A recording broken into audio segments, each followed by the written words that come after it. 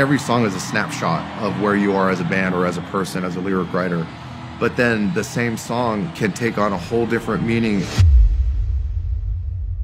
remember one day we were at Tobin's house, and I remember hearing him play the riff on piano.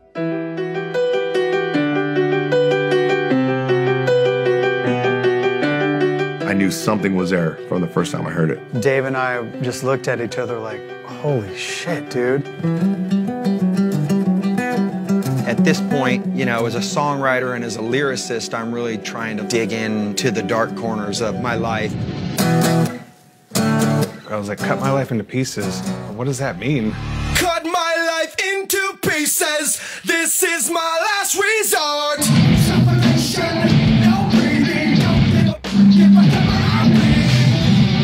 Went from being unknowns to being known by the entire world. Cause I'm losing my sight, losing my mind. Wish somebody would tell me I'm fine. Everything was fun. It wasn't until like later is when it started to get dark.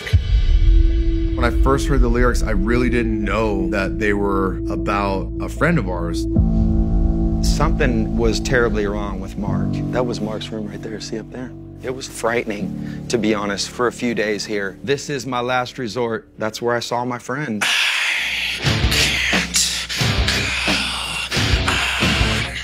That was the thing that I loved about music was that you could tell any story that you wanted to tell. What's up, man? Good to see you, dude. And this was the story we chose to tell.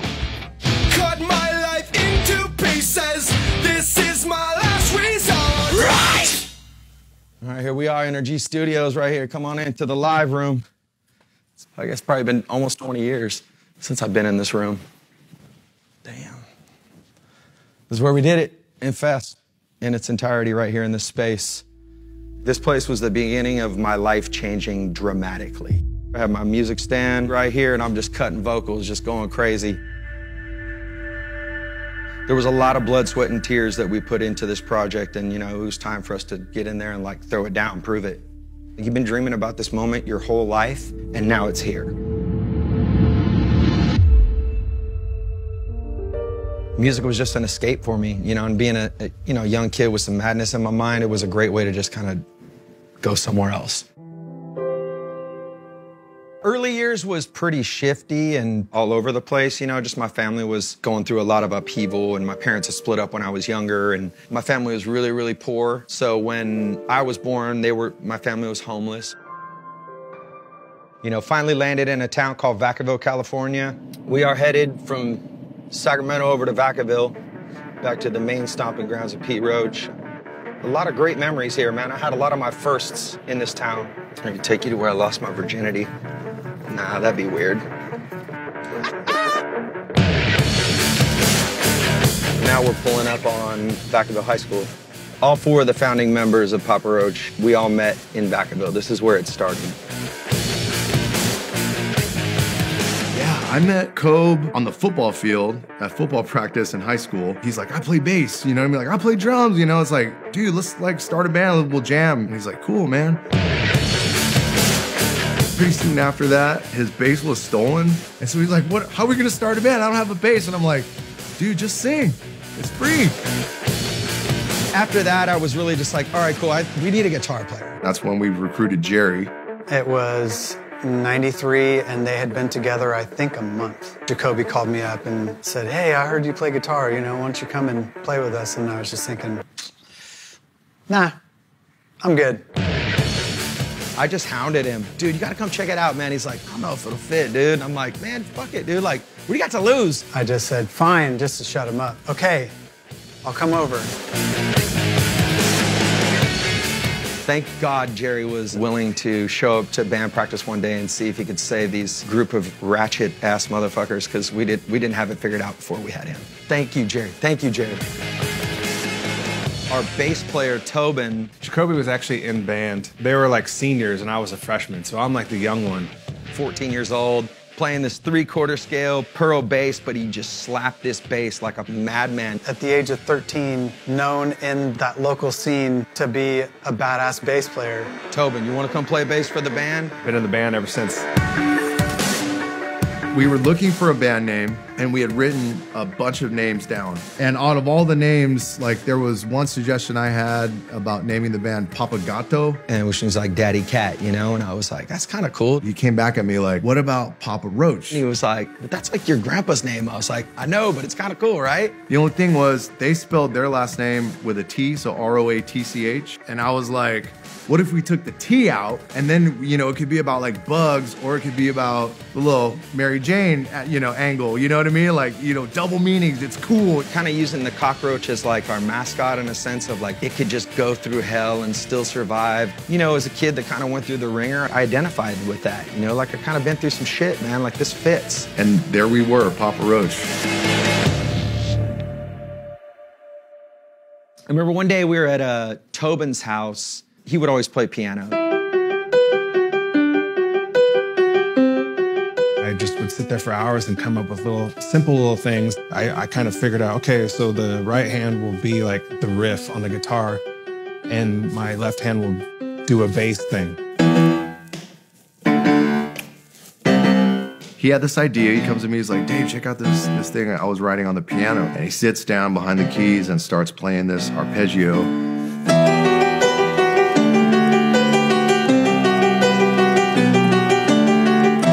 And I just looked at each other like, holy shit, dude.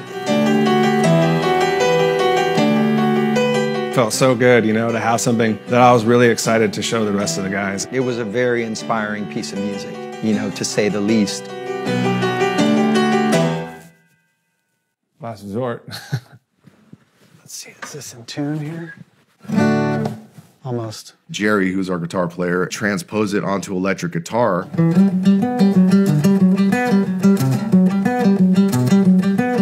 It went from this kind of classical sounding thing, this hip hop thing, to definitely metal.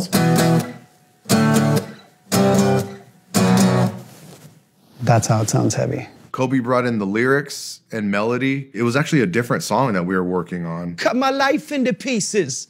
I've reached my last resort. The lyrics and whatever weren't working on that song, so he, he's like, I'm gonna try them on this song. Little did I know, this song that Jacoby had these lyrics for, like they were about our friend Mark. Here we are, dude. This brings back memories. At this point, you know, as a songwriter and as a lyricist, I'm really trying to like dig into the dark corners of my my life and my feelings. This is crazy. I ended up moving out when I was 17. Ended up moving in with another friend of mine, Mark Parham. That was Mark's room right there. See up there? Right there, that pitch. That's Mark's room. We really bonded as friends and like we clung to each other and we helped each other out and we cooked for each other and we, you know, it was it was, uh, it was like our little two dude family, you know, and like we were just doing it. At this time, you know, started dabbling in some drugs. It wasn't like a regular thing, but we exper- we tried it, and uh, it really brought up some deeply suppressed issues in both of us. This night, it was either mushrooms or acid. I just remember something was terribly wrong with Mark. Mark's in his room and he's talking gibberish and mumbling. It was like three or four days. You know, I'm looking at my friend going, I can't even fucking, I don't even know how to help you. Like, I don't even know what to say. I don't know what to do. It was fucking frightening, to be honest, for a few days here. You know, we knew he, he struggled with some of his feelings and whatnot. And, you know, his family, he'd been through some heavy shit in his life, you know? He had some trauma maybe he had been holding down, brought it all to the surface. And through this suicidal downward spiral, he was hospitalized. And it was like I just never had my friend back. It was like a, like a bomb kind of exploded in a sense. The old Mark died, and there was a new Mark that was reborn. And I just didn't understand how to like relate to the new Mark. So we kind of went different on different paths. And I felt so guilty for bringing the drug, you know, bringing the drugs into the scene. Um, in the process of writing, that was one of the things that was sitting there, you know, waiting for me to like write about. And I wasn't singing it in a first person's point of view, so I could like all of a sudden be the victim and get attention. That wasn't what this was about. It was just about telling the story. People were really taken aback and surprised at like how direct the messaging was in the song. I'm contemplating suicide. Don't give a fuck if I cut my arm bleeding. At first, I kind of was taken back, like, ooh, do we want to put that in there? That's kind of crazy. Like, but you know, he, Jacoby was just going, look, man, this is like, this really happened. The only way for him to really deal with it was to write it down and, and put it into song and kind of just get it out. And as soon as we heard that, like it was, it was game on. This one goes out to Mark Parham, my boy,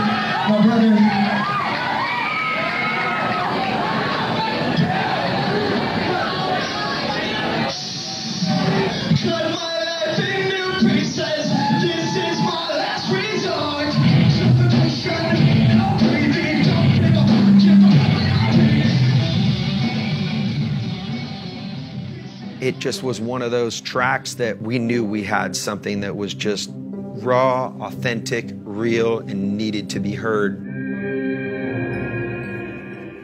This is the stage.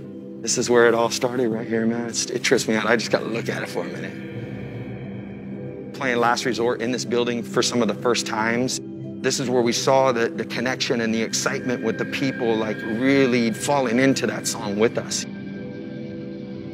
Real audiences started coming. Like it wasn't just our group of friends, it was like other kids from around town. And we started packing the house. You know, 400 kids, 600 kids, 800 kids to the Vacaville Community Center. And once we started doing that, we're like, let's see if we can get a, a gig playing clubs. We started playing more and more of these club shows San Francisco, Sacramento, Berkeley, Bay Area. slowly gaining some traction and, and getting some attention, and then putting out independent EPs. When larger bands would come through the area and play, if we didn't have a show booked that night, we would go to their show and sling our CD to their fans. Jacoby would have a boombox on his shoulder playing our CD, and he'd be like, What the fuck, Papa Roach, five bucks? What the fuck, Papa Roach, five bucks? We were sending our demo tape out to anyone and everyone rock labels, metal labels, pop labels, and we were just getting rejection left and right. Every major label had passed. You know, they had heard our music. Nope, not feeling it. As different groups of people told us no, like it was like fuel for the fire for us. We just kept going and finally got a record deal, and then it just, it all changed, like dramatically. Take you guys on a little journey. This is something really cool right here. This is a. It's got dust all over it. This is a old 24 track tape. So this is 99. This was the demo that got us the demo deal with Warner Brothers. finally we get a bite from Warner Brothers, man. Jeffrey Weiss at Warner Brothers. He was like, I think I could do something with you guys. I would like to offer you guys a demo deal, which basically means they give you a budget to go into a real studio, and then they decide if they want to sign you after. Basically, going from somebody's home studio to one of the nicest studios in LA. We couldn't believe it. Like we thought, like this is it. You know, we made it. That was how we met Jay Baumgardner, and he owned NRG and he ran it. The first time I heard Last Resort, the lyric, it's so sort of raw, and I was like, oh, this is really cool. So many people just don't want to talk about real shit. I knew it was special. I didn't know how special. Oh, what's up, Jay? Good to see you, man. to See you. my God. I came in yesterday and took a walk around the room, and I hadn't been in here in quite some time. And it's just all the memories flood back. When I first met Papa Roach, they had been very popular in Northern California, but they hadn't really done any seriously good recordings. You know, coming into the big Hollywood studio, like a fish out of water in a sense. And he challenged us a bit more than we thought he was going to. For me, it was like, I didn't want to change anything. I remember you're like, let's Yeah, just let's just change like the tempo of a s of the chorus. I'm like, fuck you, fuck you, trying to change our band. I would change like technical things, Yeah. but I never wanted to change what you guys were about as, Yeah. you know what I mean? No, absolutely not. Yeah. He knew how to work with us. He knew how to get under my skin and push me to a point without breaking me, you know? can't go on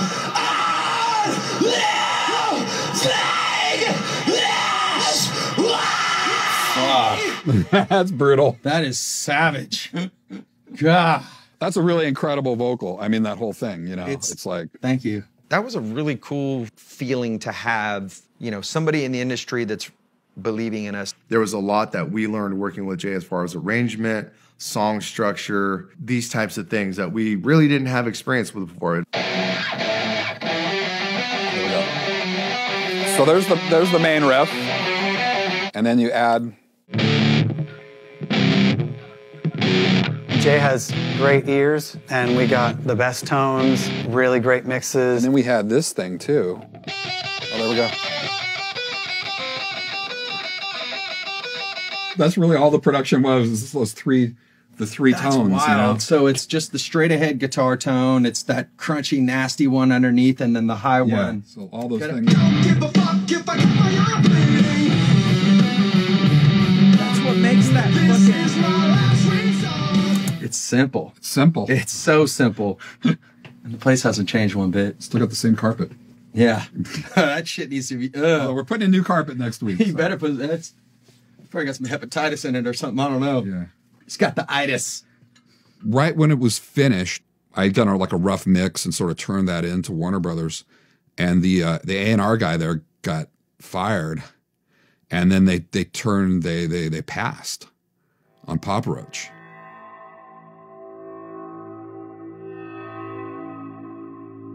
When we got the rejection letter from Warner Brothers, like we were, our souls were crushed. Dude, this is it's just over, man. We keep trying and trying and we just keep running into these roadblocks and it was just really kind of a defeating moment. They were really upset. They thought, "Oh man, it's over." And I was like, "You guys don't understand. Like, you're great. It's not going to be a problem." I remember looking at the band just going, you know what? Like, fuck it. Like, fine. If they passed on it or if this guy got fired, like, we're just gonna put it out independently. We'll go down to NRG, we'll finish up with Jay, we'll finish up like a full length record. I think we just had that hustler spirit. Like no matter what, we're like, that's all right. We're just gonna keep going, and something else will come along. And pretty much immediately, we got a call from uh, from DreamWorks This guy named Ron Handler from DreamWorks had caught wind that Warner Brothers had passed on it. When I heard about the Warner's thing, it was just shocking that something so good was just like let go for the person across the street to take. you know? Ron Handler came down and heard the demo and was just fucking blown away. He didn't show it to our faces there. He was like, you know, just vibing on it.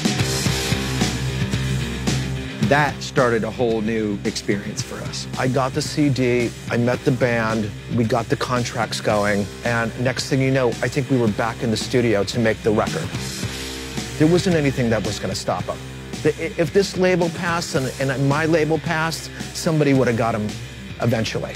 You know, it was just like undeniable. We thought we were going to get a record deal with Warner Brothers, but we ended up getting the deal with DreamWorks, which changed our lives. I remember when we started talking about it being a single. There was a moment of hesitation for this song to be the single after we heard the radio edit version of the song.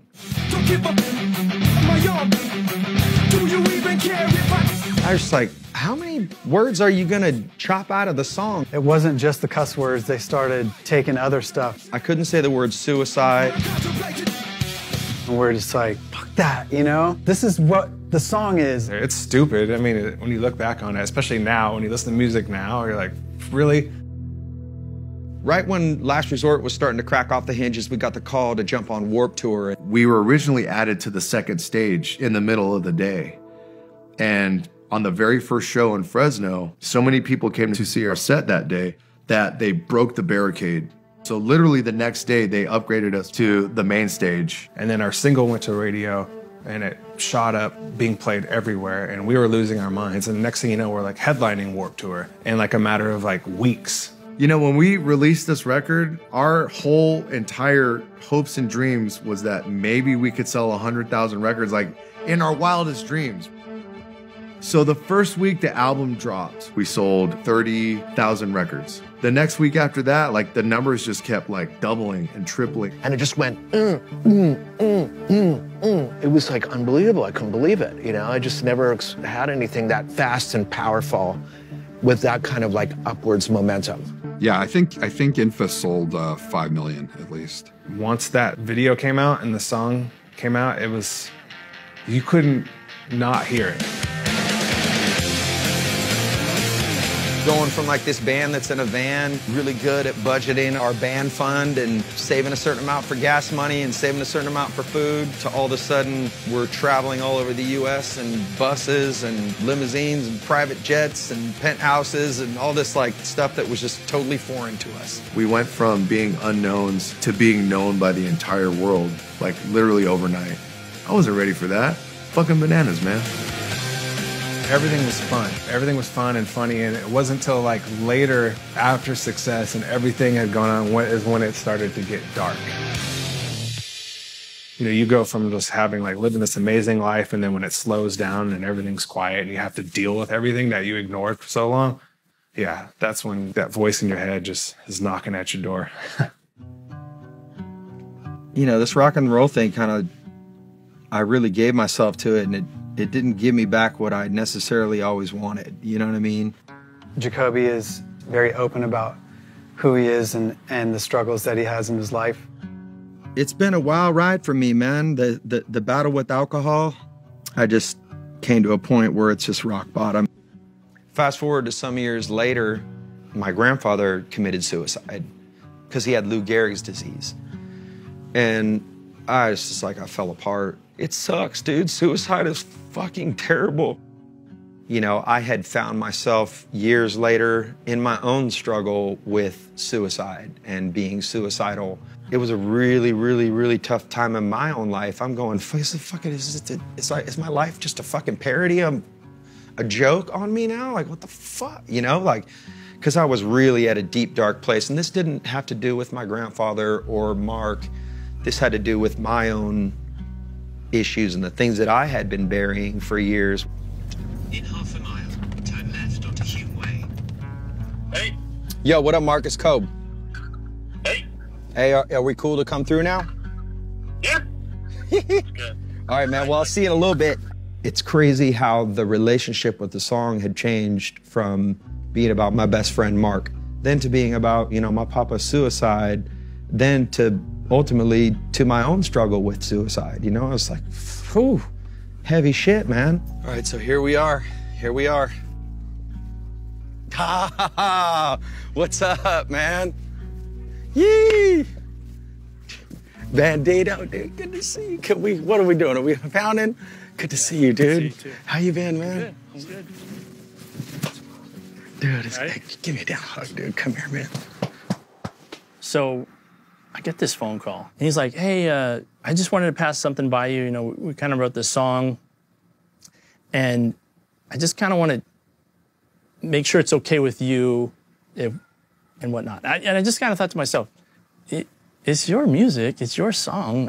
Who am I to tell you what not to feel or think with regard to this stuff? So I'm just like, whatever. But I always thought to myself when you did that, I thought, that's awesome. That was really respectful, really kind on your part. And so I do, I do appreciate that. Hey, man. Well, Yeah. you know, it's like I just kind of walking through that period of time in your life with you, like, and it was it was really you know it was really it was just hard. It was hard to see you struggle, yeah. and it was like a traumatic. It was a traumatic experience for Right. me. You know, Yeah. like I think even though I experienced, uh, you know, a breakdown, and what I dealt with, it was harder for me to watch my friends watch that happen. right. Yeah. You're sitting there watching the situation occur, and I just there's nothing help- you can do. Yeah, I just mean, felt this is helpless. I helpless, just saw you struggle. Totally yeah. unequipped to deal with that circumstance. Yeah.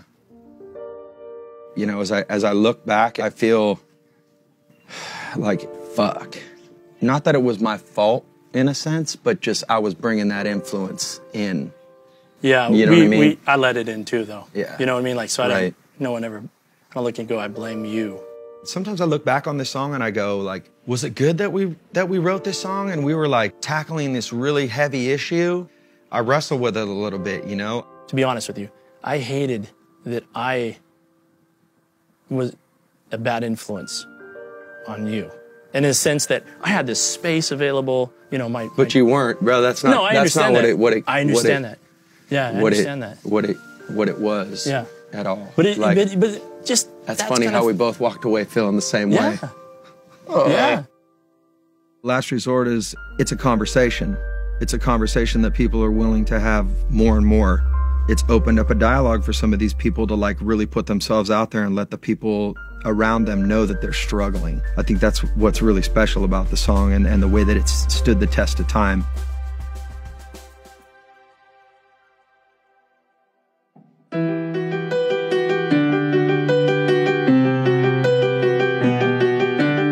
Every song is a snapshot of where you are as a band or as a person, as a lyric writer. But then the same song later on down the road can take on a whole different meaning and a whole different relevance to what's happening in your life then. What he wrote was about the experience of crying out for help. It's not a song about suicide, right? Because I'm still here, Yeah. right? And it's not about that. It's about the response. How do you help someone who's in crisis? How does a person in crisis respond to their own crisis? The story of Last Resort to me is a story of struggle. It's about falling into the darkness. It's about finding your way out. And especially with what happened here at this house and what the song was inspired from, it's, you know, it's about life. It's about it's about coming through the other side. And I've met thousands upon thousands upon thousands of people out there on the road and that's the story I hear from people is that this song was was a, was a beacon of light in some darkness and that's that's awesome.